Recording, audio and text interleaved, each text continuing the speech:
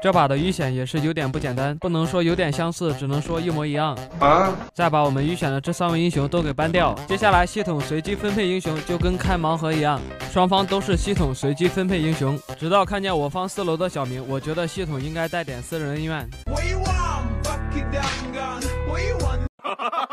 打擂台之前，我决定把我的封神之力给到我方射手。啊！你干嘛？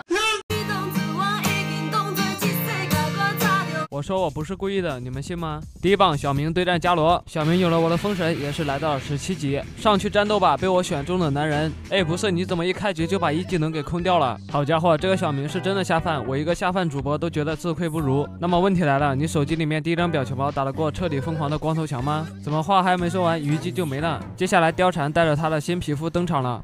有一说一，貂蝉的新皮肤是真的好看。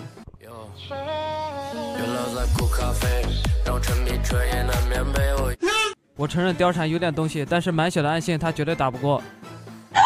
啊！竟然真的打过了，这貂蝉的伤害真是小母牛坐飞机牛逼上天了呀！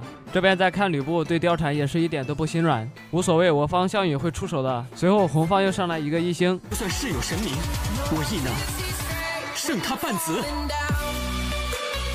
就你他喵的叫一星是吧？滚！